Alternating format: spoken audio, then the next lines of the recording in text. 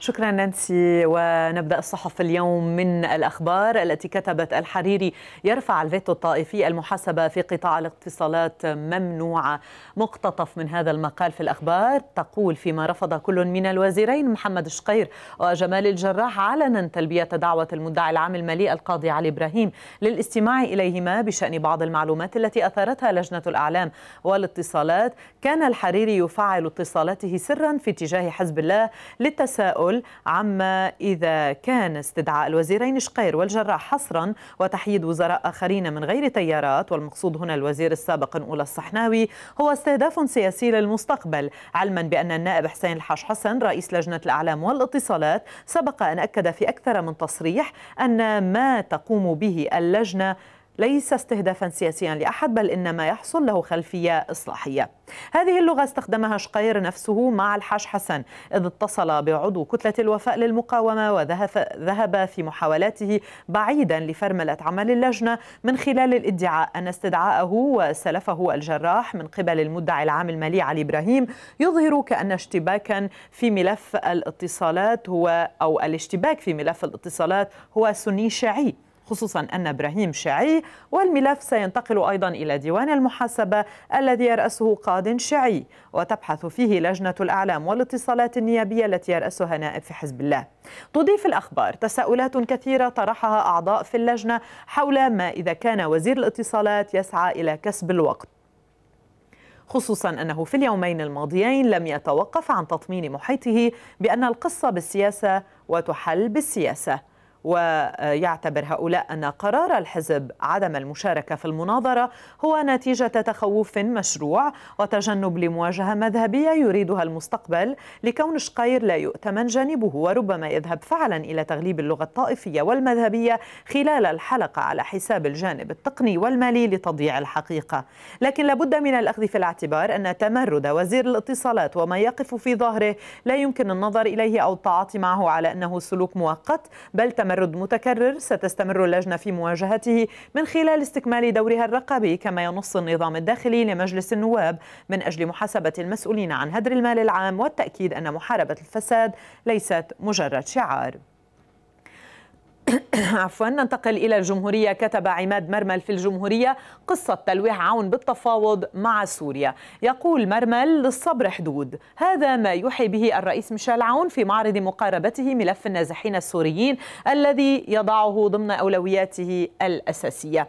يمكن القول أن المعادلة واضحة بالنسبة إلى عون عندما تصبح كلفة الحوار المباشر مع الرئيس السوري بشار الأسد لتسهيل عودة النازحين أقل من كلفة بقاء هؤلاء على الأراضي اللبنانية فإنه لن يتردد في حسم خياره والتواصل على أعلى المستويات مع دمشق. ويلاحظ عون أن البعض في لبنان تحسس فورا من موقفه وسارع إلى التشويش عليه كأن زيارة دمشق حصلت وانتهى الأمر. ويلفت إلى أنه راعى كثيرا طيلة المرحلة السابقة بعض المواقف والحساسيات الداخلية. ويضيف صدقوني أنا لا أمزح ولا أناور عندما يتعلق الأمر بمصير لبنان وبالتالي كونوا أكيدين أنني سأفعل كل ما هو ممكن لأزيح عن كاهله أعباء النزوح.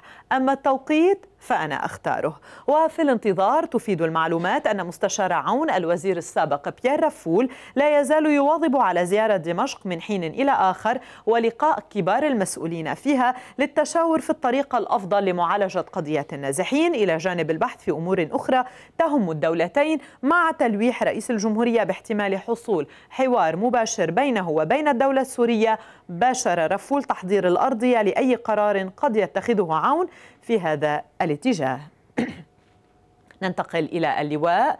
كتب عمر البردان في اللواء مؤتمر أبو ظبي وزيارة الحريري للسعودية رسالة دعم للبنان وحكومته.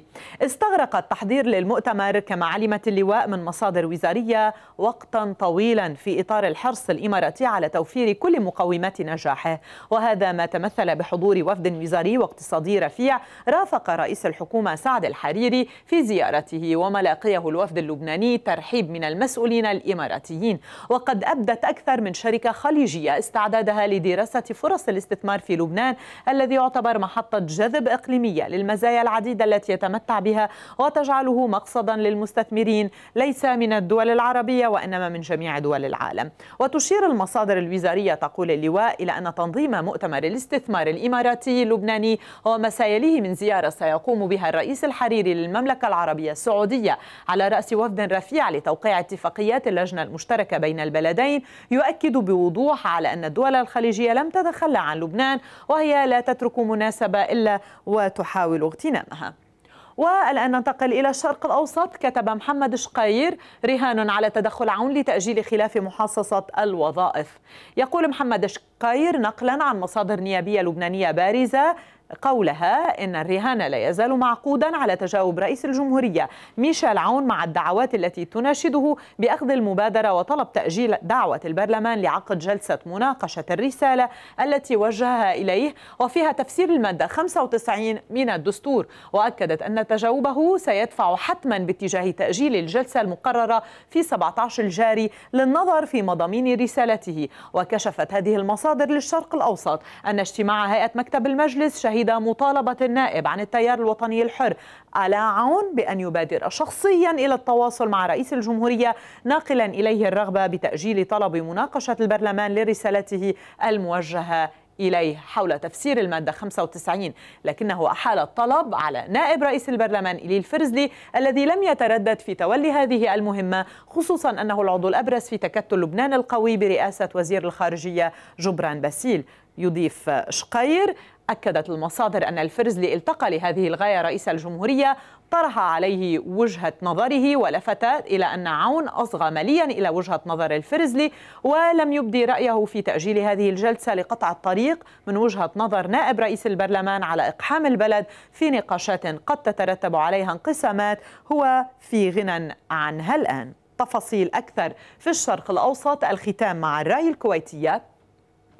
حسب أوساط الرأي فإن الحريري الذي جاءت زيارته الدولة التي قام بها أو زيارة الدولة التي قام بها للإمارات وما رافقها من حفاوة وخلاصات بمثابة فك عزلة عن العهد الذي تعاني علاقته مع بعض الخارج المؤثر من أزمة ثقة.